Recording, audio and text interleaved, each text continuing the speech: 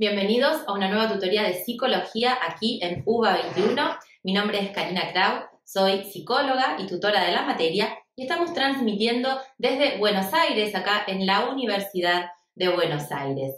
Vamos a trabajar contenidos de la unidad 4 del programa. Estamos trabajando la propuesta de Sigmund Freud y estamos viendo qué es lo que nos cuenta acerca del psicoanálisis. Como saben, eh, Freud trabajó durante toda su vida eh, a partir de eh, unos años previos a 1900, dejó un poco de lado la neurología, que era su ciencia madre, de lo que él se había recibido, y empezó a estudiar casos de pacientes con los que estaba trabajando vinculados a un padecimiento especial, sobre todo de mujeres, que él denominó histeria. Em, entonces, eh, se dice que 1900 es la fecha de origen del psicoanálisis por la publicación que él hace de un este, eh, artículo en especial, eh, que es la interpretación de los sueños. Y el lugar de surgimiento es en Austria. Y les decía que Freud produjo durante toda su vida y referido al psicoanálisis desde unos años antes de 1900 y hasta la fecha de su muerte en 1900 39. De hecho, hay artículos que salieron de él eh, que se publicaron luego de que él falleciera, como por ejemplo Esquema del Psicoanálisis, que es una obra de síntesis que se publicó en 1940. Así que produjo durante muchísimos años de su vida y desarrolló esta teoría tan interesante, compleja y profunda que es el psicoanálisis. ¿Cómo define él al psicoanálisis? Bueno, en el material de lectura obligatorio que ustedes tienen de estas cinco conferencias de introducción al psicoanálisis. En la primera de ellas, cuando presenta de qué va a hablar, él hace una definición y dice, como tienen aquí en la cita que es de, esa obra,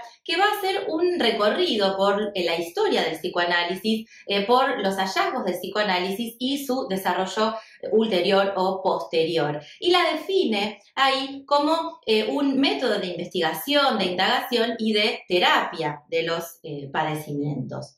Entonces, con este psicoanálisis que él presenta, lo que va a introducir es una ruptura, ¿sí? Como bien tienen acá, una ruptura eh, o diferencias sustanciales con la psicología y con la medicina de la época. ¿Por qué?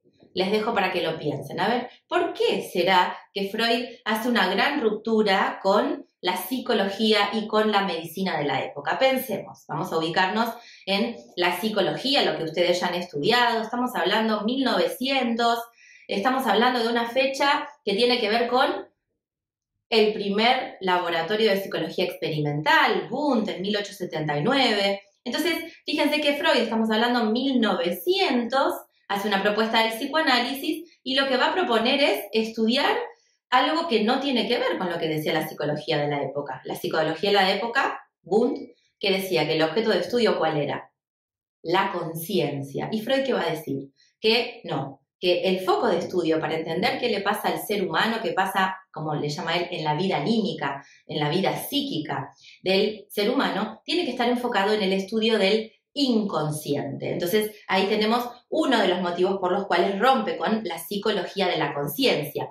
Y el estudio del inconsciente lo van a ver en estas cinco conferencias y también lo van a ver en el otro texto que ustedes tienen de lectura obligatoria, que es el olvido de nombres propios, porque en estas cinco conferencias y en el olvido de nombres propios, él hace un abordaje de cuáles son las manifestaciones del inconsciente. Enseguida vamos a pasar a sintetizar cuáles son, pero para que ustedes vayan ubicando en el material de lectura. Fíjense que en las conferencias él habla de síntomas, habla de sueños, eh, en el olvido de nombres propios habla de actos fallidos, de lapsus linguae, nombra también los chistes.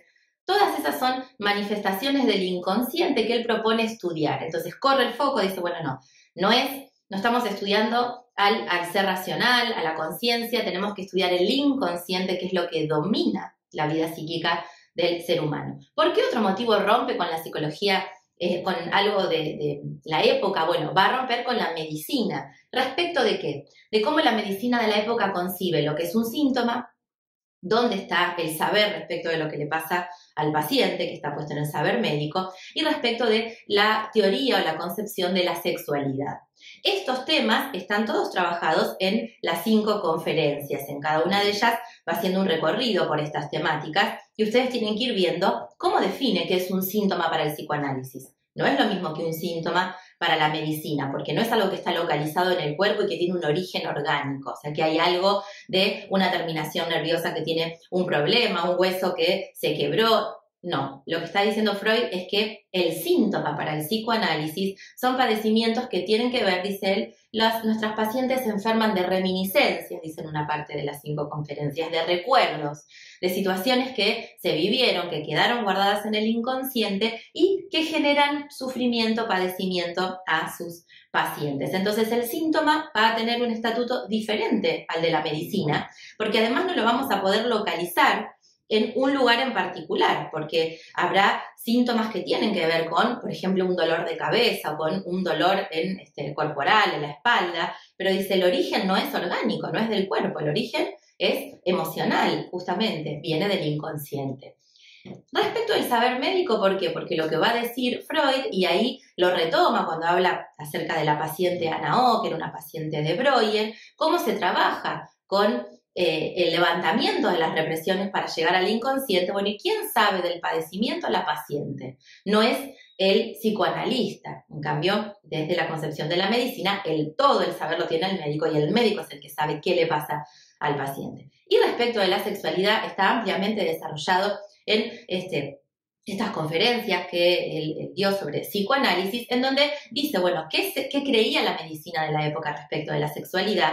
Que la equiparaba a genitalidad, por ejemplo. Entonces, lo que dice Freud, no, la sexualidad comienza en el inicio de la vida y no tiene que ver con genitalidad específicamente o solamente. La genitalidad es una etapa de ese desarrollo sexual y la genitalidad comienza con la puerta. Pero ¿qué pasa antes de la puerta, durante toda la niñez?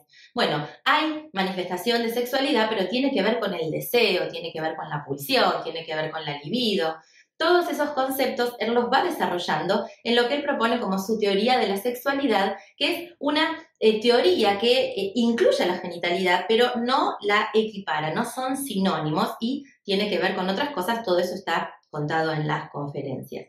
Entonces, vamos a sintetizar algo central que estamos viendo respecto de la propuesta de Freud y por qué rompe con la psicología y la medicina de la época, que es el inconsciente. ¿Cómo se manifiesta? ¿Cómo sabemos de su existencia?